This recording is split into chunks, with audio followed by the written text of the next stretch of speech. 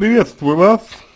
Ам, начать мне бы свой ответ, наверное, хотелось бы с того, чтобы заметить, а, вы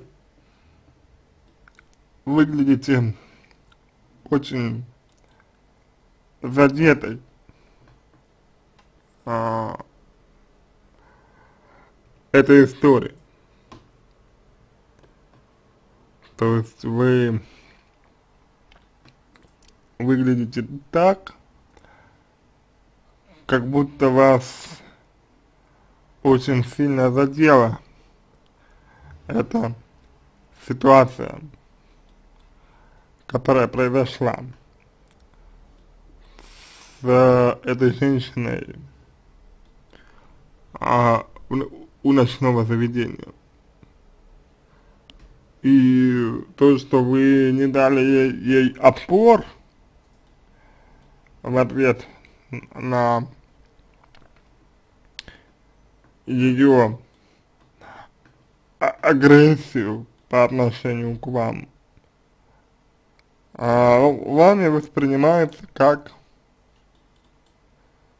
личное оскорбление.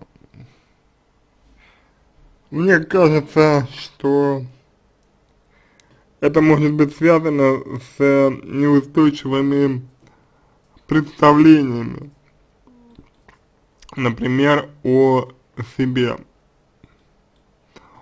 у вас. И очень важно посмотреть, какое именно или какие именно представления о себе у вас изменились в результате этого происшествия. Вы говорите, что чувствуете себя унижены. Но как вас унижает этот поступок, то, что вы ничего не сделали, как вас унижает слабость, слабость, как вы говорите. Почему вы обязательно считаете слабостью э, свое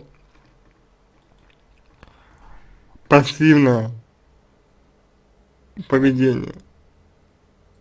С чем это связано? С чем связано то, что вы воспринима воспринимаете свою пассивность в данном случае как слабость. Мне кажется, что это очень важный момент для понимания того, что с вами происходит. Понимаете, э, вряд ли кто-то способен унизить другого человека а, без участия его самого. То есть можно с уверенностью сказать, что вы чувствуете себя униженной именно по той причине, что до этого происшествия, до того, как это случилось, вы уже в чем-либо, скорее всего, в себе сомневались. Я не знаю, конечно, в чем именно, потому что никакой информации, по сути дела, у нас нет. Никакой информации о вас у нас нет. Но эту информацию вполне можно получить, если у вас есть, например, э, такое желание поработать и поисследовать эту ситуацию в целом. А, иногда, иногда, но не всегда, конечно, помогает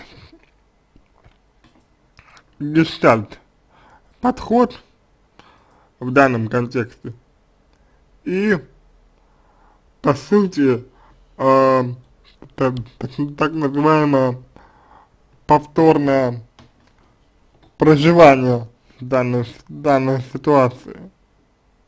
То есть вы проживаете эту ситуацию снова и снова до тех пор, пока вас не отпустит, пока вам не станет легче. Иногда, иногда в случаях э, подобных вашему используется такой подход. Кстати, в этом э, ничего плохого и постыдного нет. Ну, гла главное, чтобы э, вы, например, э, выразили э, свое желание, допустим, э, в этом направлении работать, к примеру. То есть, если вы э, хотите, допустим, попробовать данную, ну, данный прием, назовем его так, вот, то можно, в принципе, а, это сделать. Существуют и др другие способы, а, существуют и а, другие варианты, а, другие возможности для того, чтобы а, решить проблему вашего состояния. Совершенно очевидно, что данную ситуацию вы восприняли э, через чур близко к сердцу. Совершенно очевидно, что это так. И важно понять, почему так произошло. Важно понять, с чем связано то, что вы восприняли ситуацию именно как унижение. Возможно, вам понадобится личностный рост. Это определенная работа над собой. Естественно, э, вместе, вместе с психологом а, вы не останетесь одна, вот, естественно, психолог, ну, в данном случае тот, кого вы выберете, поможет вам в этом, в этом, вот. Но идея Идея примерно такая. Теперь, осталось, теперь вам осталось сделать свой выбор. То есть, хотите ли вы и дальше мучиться, или вы хотите освободиться от этого и жить дальше. Возможно, вы а, чересчур близко к сердцу восприняли так называемый принцип Талиона, который гласит око за око и зуб за зуб. То есть, возможно, вам хочется именно некого возмездия. возмездия. Я, конечно,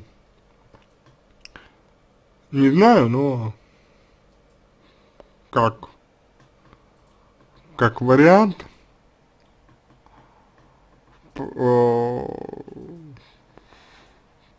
вполне может быть.